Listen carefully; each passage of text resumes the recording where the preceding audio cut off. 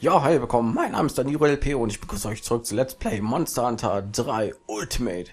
In der letzten Folge haben wir das Intro gesehen, haben uns mit allen Dorfbewohnern unterhalten, haben unseren Charakter erstellt, in der Reihenfolge, ja. Ähm, haben hier, keine Ahnung, die ersten paar Gegenstände von anderen Leuten bekommen und so direkt wurde uns jetzt nicht gesagt, was wir machen sollen, aber wir gehen einfach mal jetzt raus und, obwohl, bevor wir rausgehen, zeige ich euch erstmal, was ich hier gemacht habe. Ich habe nämlich als erstes, nein, nicht da, die Ausrüstung ein bisschen geordnet. Und zwar habe ich hier erstmal alles so schön geordnet, so wie es sein muss.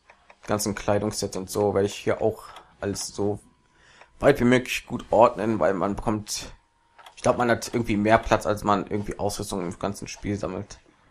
Also ich war auf jeden Fall nie knapp daran, irgendwie alles voll zu haben. Aber naja.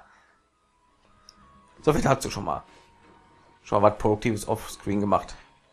Und ja, ich würde sagen, wenn uns jetzt hier niemand irgendwas zu tun gibt, gehen wir mal nach draußen und machen einfach Zeugs. Was ja im letzten Part so ein bisschen knapp war. Hallo, kannst du mich hören? Du sollst wirklich äh, meinen Sohn Junior kennenlernen. Er müsste im Lager sein. Äh, ein Sprichwort meiner Ahnen. Wo immer du hingehst, äh, dort bist du. Was? Siehst du die Karte auf dem Bildschirm? Das rote Dreieck zeigt dir, wo du bist. Das weiße Symbol, das wie eine kleine Hütte aussieht, ist das Basislager. Verwende die Karte, um deinen Weg ins Basislager zu finden. Ja, bewegen, R gedrückt haben, während du dich um zu rennen. So. Also jetzt sozusagen, ich muss noch gar nicht hier raus. Das wäre ein bisschen doof. Ach nee, ich muss da hinten zum Zelt hin, okay. So. Oh, schön sehen wir erstmal schöne Gebiet hier, in dem wir uns bewegen können. Sollen wir noch einige Male sehen, also ich auf jeden Fall. Ach, ich vergesse, da gibt es ja noch was, was ich dir über das Sprinten sagen sollte. Der gelbe Balken da oben auf dem Bildschirm, das ist ein Ausdauerbalken. Rennen, also Sprinten, verbraucht Ausdauer. Ohne die bist du ziemlich lahm, bis sie wieder aufgeladen ist. Darum musst du immer auf den Ausdauerbalken achten. Wenn du sprintest, Kräfte, Kräfte also immer schön einstellen. Also einteilen, meine ich. Der Kamerasteuerung kannst du dich in der Umgebung umschauen, während du herumläufst. Ja, gerade alles erklärt. Dann rennen wir mal. Ist die Kamera so, wie ich sie will? Ja, gut. Ich werde jetzt zeigen, wie man mit den View Gamepad jagt. Wirf einen Blick auf den Touchscreen. Okay. Siehst du die Felder, berühre sie, um diverse für die Jagd hilfreiche Funktionen äh, aufzurufen. Öffne das Menü mit Select und äh, berühre dann die Felder anpassen, ordne die Felder ganz nach Belieben an. Du willst wissen, was ein Feld tut, berühre einfach die Hilfeschaltfläche unter Felder anpassen. Wie, du meinst, es ist schwierig, die Felder in die Hitze des Gefechts zu berühren? Halte einfach den Select-Knopf gedrückt und versuche dann Feldposition zu berühren. Jetzt kannst du die Position der Felder auf der Touchscreen verändern. Du kannst zwischen Mitte, links und rechts wählen, wähle sie entsprechend deines Jagdziels. Sei aber vorsichtig, das betrifft nur Felder, die du während einer Quest benutzt. Ja, das werde ich wahrscheinlich aber offscreen einstellen. Na, muss doch nicht sein. Oh, schön. Kann man da irgendwie noch mal Dings machen? Gesten, ja. Äh, Stolz hier, nicken, schwitzen, klatschen, Jubel.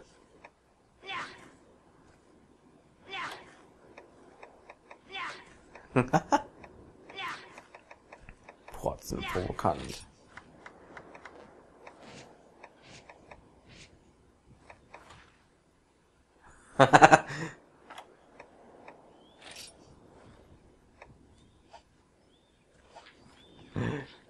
Muss ich mal irgendwann so ein Screenshot oder so machen. Mein Charakter. Wird noch alles kommen. So, dann gehen wir mal und machen Zeugs. Ich sollte vielleicht noch irgendwie erklären. Ich glaube, mit B kann man ausweichen, dann macht man so eine Ausweichrolle. Die wird sehr wichtig sein. Mit X zieht man seine Waffe und äh, Y tut man die wieder wegstecken. Genau. Damit Y tut man, glaube ich, Gegenstände einsetzen. Da will ich jetzt nicht äh, ausprobieren. Wie tut man jetzt noch mal wechseln? Ach, ich habe noch gar nichts anderes. Weil, lass ich, ich glaube, mit Y setzt man die Gegenstände ein, aber lasse ich jetzt erstmal. Da gehen wir erstmal zu Gebiet 2. Ja.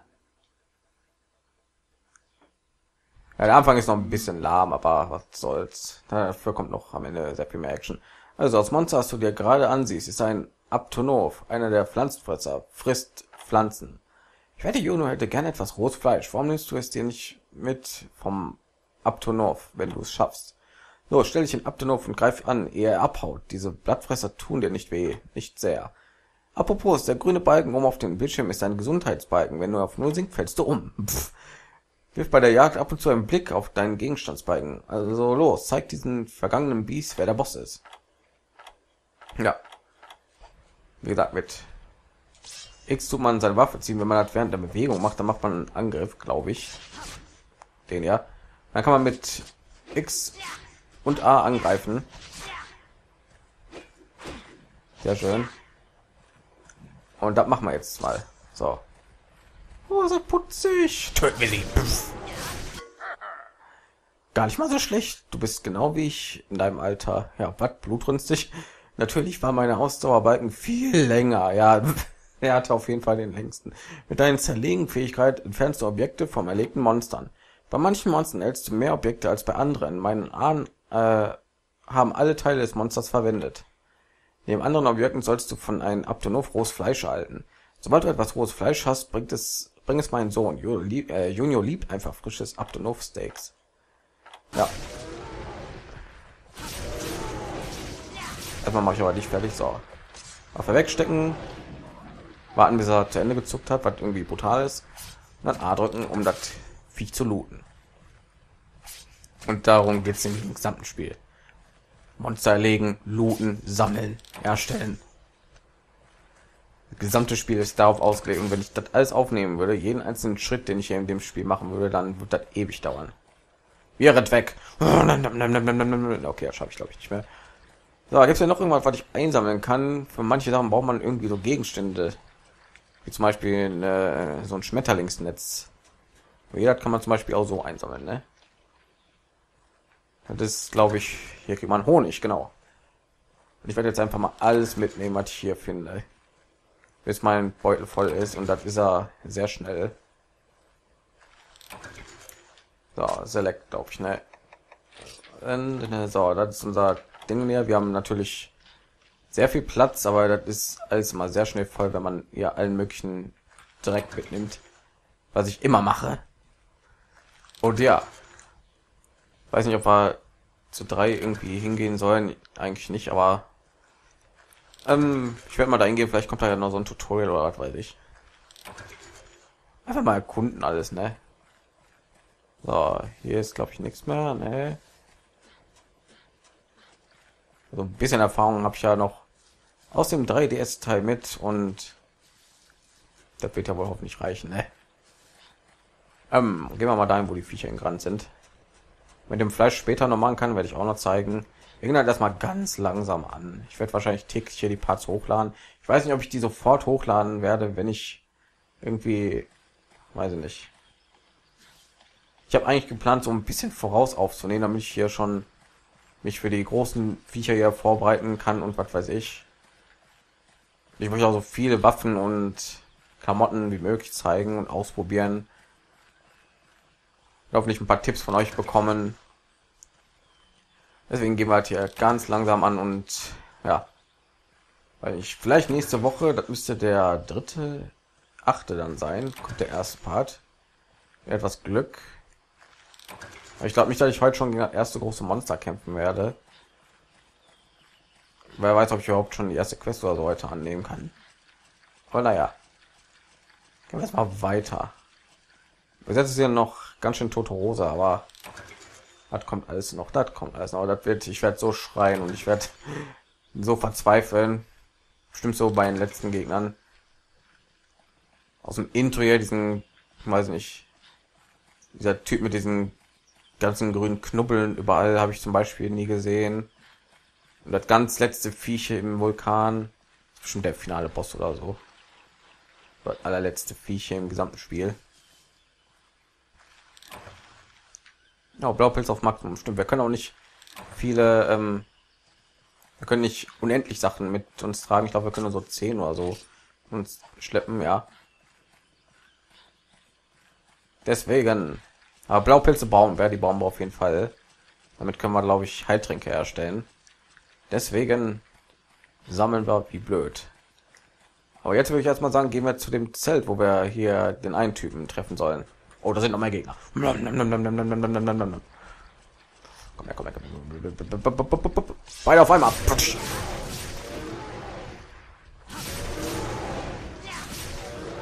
Sehr schön. So, dass du hier fliehen kannst vor der grünen Macht. Sich nennt Danio. Herausfleisch kann man natürlich auch nicht so viel wie möglich mit uns schleppen, deswegen glaube ich nicht, ob wir hier alles mitschleppen können. Aber Fleisch brauchen wir auch. Wir brauchen, ich, wie gesagt, man braucht alles irgendwie in dem Spiel. Man braucht keine Ahnung, man braucht Fleisch, man braucht Pilze, man braucht alles Mögliche, um später bessere Ausrüstung zu bekommen, weil ohne gute Ausrüstung bist du aufgeschmissen. Ah, rohes Fleisch ist auf Maximum, okay. Na gut, dann lass mal das. Dann gehen wir mal weiter zum Zelt. Weil da müssen wir hin. Ja, und unser Ausdauerbalken ist ein bisschen runtergegangen. Das kommt mit der Zeit. Er vielleicht das schon gemerkt hat.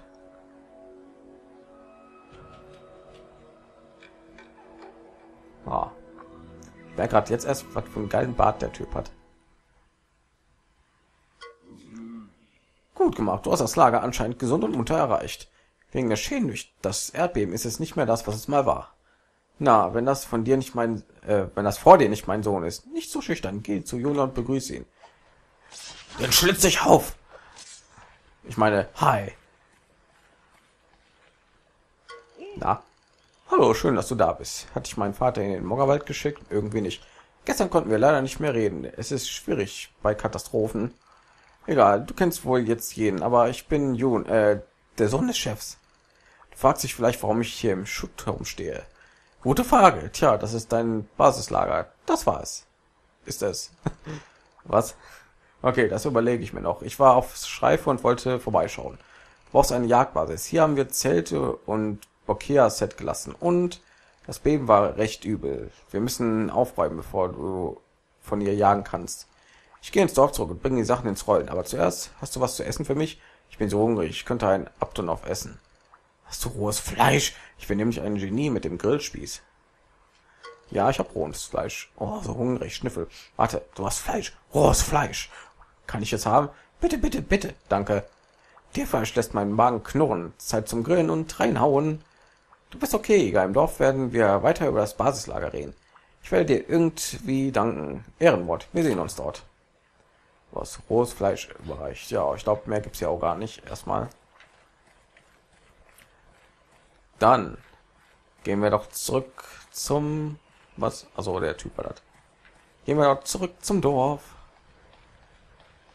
Ja, aber der hat uns ein rohes Fleisch hier entwendet. Das heißt, wir brauchen wieder neues.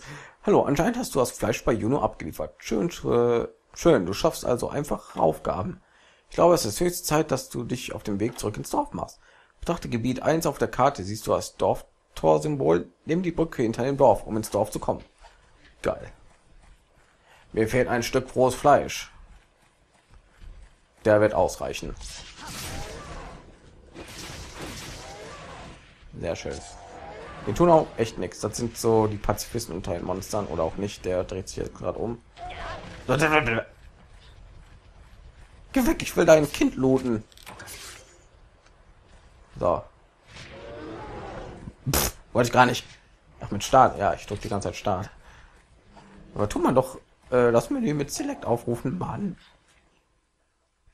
Ja, das war gut. Normalerweise hüpfen ja auch so kleine Viecher noch um, so, weil diese Antilopenviecher. Aber anscheinend nicht. Ist glaube ich auch immer was, ne? Ja. Kraut, das könnte man auch gebrauchen. Wie gesagt, da könnt alles gebrauchen. Ich werde erstmal hier alles einsammeln, weil ich alles brauchen werde. Später kann man die Sachen auch mehr oder weniger duplizieren, weil werdet ja schon sehen. So, ab ins Dorf. Wir haben Zeugs erledigt. Buff. Überepisch. Du hast es geschafft. Drücke den A-Knopf, um hier ins Dorf zurückzukehren. Sprich mit meinem Sohn, sobald du wieder ins Dorf bist, im Dorf bist. Außerdem möchte ich dir als Dank für deine Hilfe etwas geben. Komm zu mir, wenn du mit Juno gesprochen hast. Ja, Kontoobjekt mit 10 Rohstoffpunkten. Okay, ja, das wird auch alles erklärt. Wenn noch alles erklärt, wir gehen halt ganz langsam an. Schild, Leute, ganz ruhig. so, jetzt habe ich da hier sowas, genau. Hallo Jäger, danke für das Fleisch. Ich musste alle paar Stunden was essen, sonst wird mir übel. Ich mag dich. Ich weiß jetzt auch, was wir alles brauchen, um das Basislager wieder in Schuss zu bringen. Also neue Latrinen graben, den alten ab, die alten abdecken, das ähm, voll aufstoßen, das Zelt aufbauen, das Bett entlausen. Wir brauchen viele Rohstoffe. Weißt du, was das ist? Du beschaffst Rohstoffe, in denen du Monster oder entsprechend Objekte findest. Wir Dorfbewohner können uns nicht weit in den Wald hineinwagen. Wir schmecken den Monstern zu gut. ja. Aber ein Jäger wie dir macht das keine Probleme. Du kommst zurück, beladen mit Rohstoffen.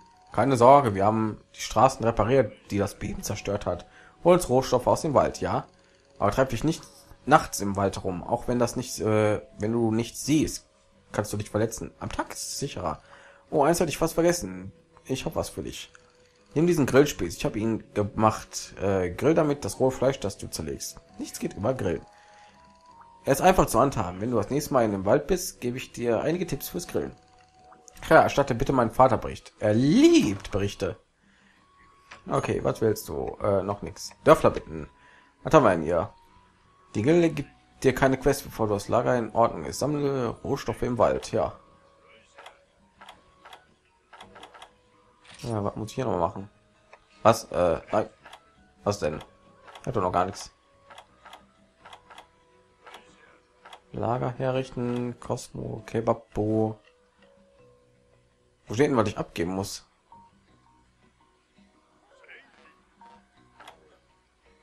Lager, die Gilde gibt dir eine Quest.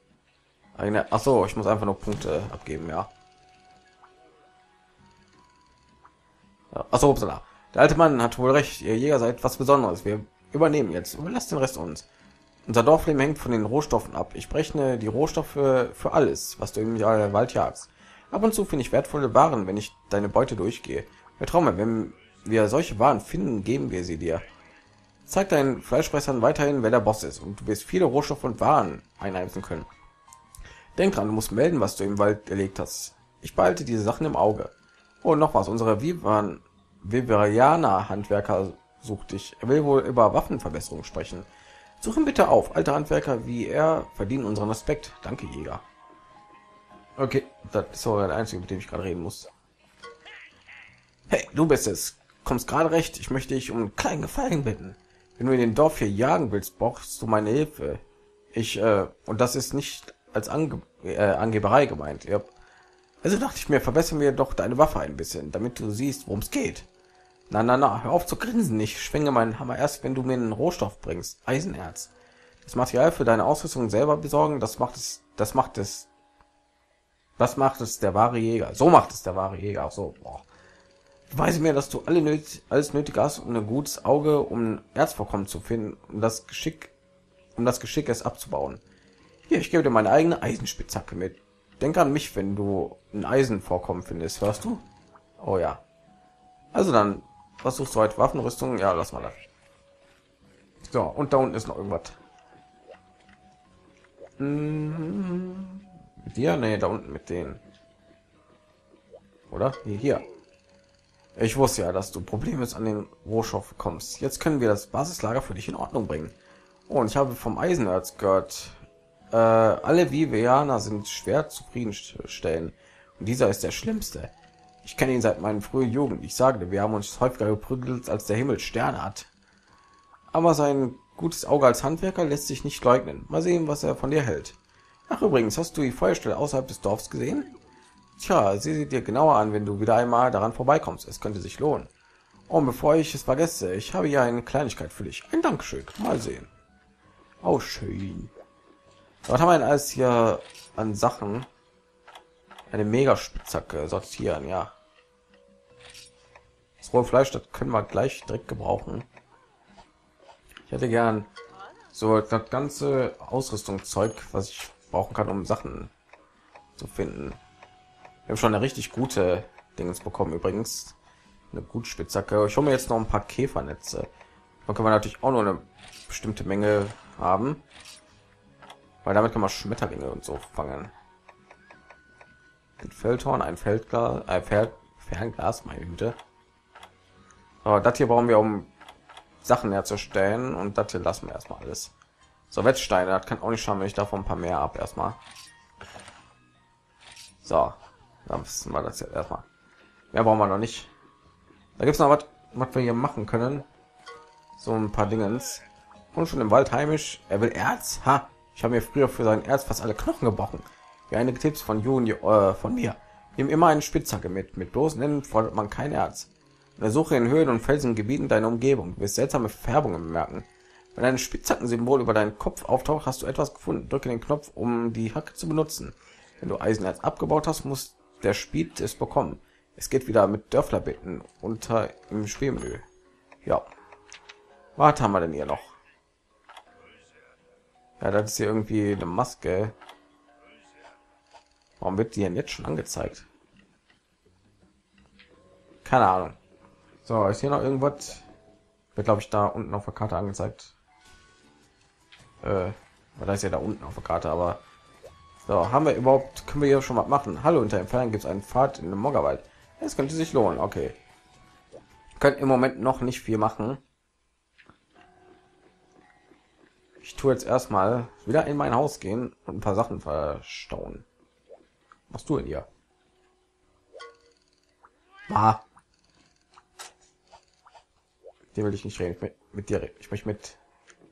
Scheiß drauf. Äh, tun wir erstmal ein paar Sachen hier verstauen, die wir nicht brauchen. Zum Beispiel Honig. Den brauchen wir erstmal nicht, glaube ich. Kraut, Blaupilz, Blaupilz tun wir mal entfernen, weil damit ich wieder ein paar neue hier einpacken kann. Ja. Eine Spitzhacke. Ich glaube, ich hole mir noch mal ein paar. Das Spiel ist hier wirklich alles sammeln, organisieren. Also ja, alles das gesamte Spiel. Wie gesagt, werde ich nicht alles zeigen, aber so viel wie möglich werde ich noch reinpacken. So, Fischmaterialien. Ähm, Brauche ich das jetzt schon? Ich weiß nicht. So, hier ist noch eine normale Spitzhacke. Davon können wir uns ein paar holen. Werfen wir unser ganzes Geld hier aus dem Fenster, aber ist egal. Davon könnten wir uns auch ein paar holen, aber die können wir auch finden. So, dann sind wir für den nächsten Part gut gerüstet. Die wird hier noch eine ganze Menge aushalten, aber trotzdem. Ja. Habe ich jetzt, ja, ich habe Rotfleisch noch dabei. Na gut, dann werde ich jetzt ähm, hier den Part beenden. Und in der nächsten Folge gehen wir dann wieder in den Moggerwald und tun sozusagen das Tutorial noch ein bisschen weiter spielen, bis dann die Action irgendwann losgeht.